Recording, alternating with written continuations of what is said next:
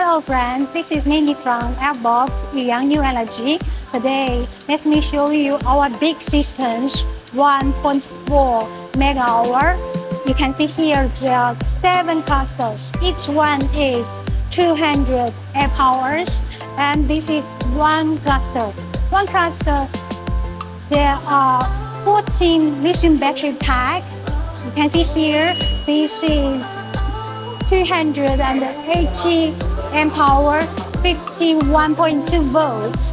Each battery pack is 14.336 kilowatt hours and each battery pack with the little fan to do the cooling for the cells and you can see here also each battery pack with an BMU. BMU connects all the information from the cells and combined to the high voltage combined books.